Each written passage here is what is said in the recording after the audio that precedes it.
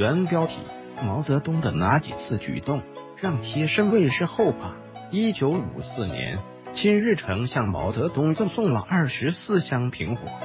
毛泽东收到后，便吩咐李银桥把它送给警卫部队。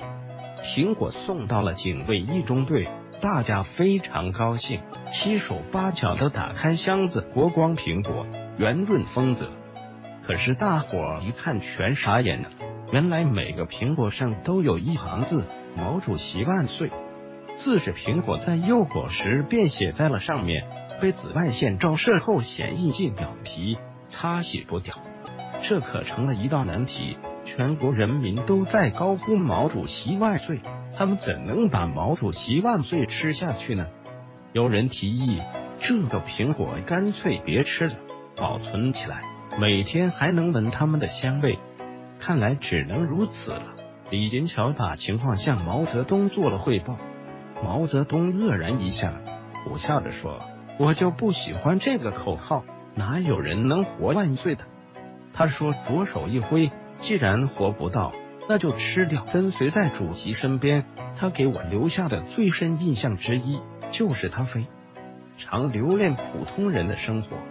采访时，坐在沙发上的李银桥陷入了回忆之中。一九五五年，印度尼西亚总统苏加诺访华，受到隆重的欢迎。苏加诺结束对华访问时，毛泽东亲自去机场送行。回来的路上，他不住的透过车窗向外面的街道张望，蓦然说了声：“银桥，我们找个饭馆吃饭去。”身为党和国家的最高领导人，毛泽东不得不长期的深居简出，生活十分单调。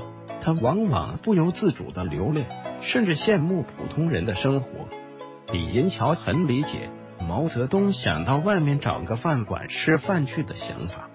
他脑袋一转，现在朝鲜战争已经结束，国内形势非常安定，到处呈现太平景象。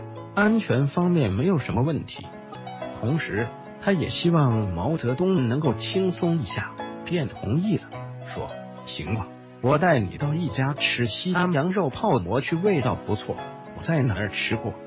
当时还是清早，饭馆里没有客人。李银桥请大师傅现做了羊肉泡馍端上桌。平时毛泽东只爱吃猪肉，对牛羊肉都不大感兴趣。”没想到这次他吃的津津有味，格外舒畅。李银桥说：“有时主席周围的同志也需要对他的渴望做适度的让步，然而总体上是绝对不能由着他的。毕竟他是位特殊的人，稍有疏忽就有可能出惊天动地的岔子，谁又敢担这个责任？”一九五八年，毛泽东去天津南开大学视察校办工厂。他的到来不是一声春雷，在南开大学的校园炸响，全校轰动起来。李银桥至今还记得，大家手掌拍麻了，嗓子喊哑了。凡能立足的地方，都挤满了激动的人群。人民群众的狂热，使毛泽东无法离开南开大学一步。李银桥的心都提到了嗓子眼上。他连忙同天津市警卫处处长李侃商量，调动随行的一辆华沙小轿车，请毛泽东上车。毛泽东的身材魁梧，平时根本办不进去，但这一时非比寻常，卫士们着急了，硬是将毛泽东连挤带塞的推了进去。小车的前后左右由卫士、警卫以及其他随行人员一起保驾护航。终于突围出了校园。中午，毛泽东的情绪十分高昂，提议去找个饭店吃饭。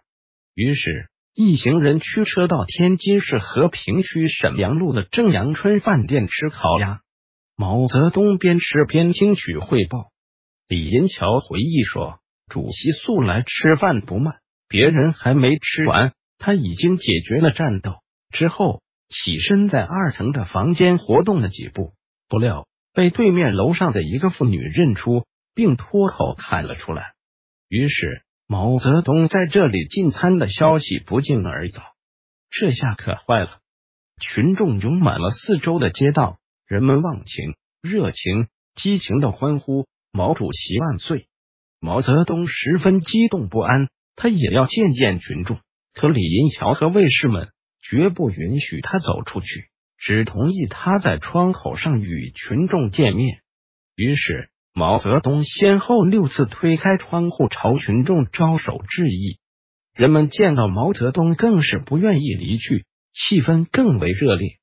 直到下午五点多了，警备区派出一个排的战士赶到。冲开一条路，把一辆华沙小轿车推进人群，抵到饭店门口。有了南开大学的先例，再冲出人群，大家就有经验了。李银桥和卫士们前呼后拥的维护着毛泽东，再次将他挤进车内。警卫排战士和卫士开路的开路，推车的推车，护卫的护卫，硬是把车子推了出去。回忆起这场虚惊。李银桥有些后怕，那天的场面实在太沸腾了，扯坏了衣服，踩破了鞋的不算。据说事后清理现场，丢失的鞋帽、手表及钢笔等收了七筐多。因为拥挤，有人受了伤。事后，天津市公安局领导去慰问时，受伤的人说：“为了能看到毛主席受点伤，不算什么。”返回搜狐。查看更多责任编辑。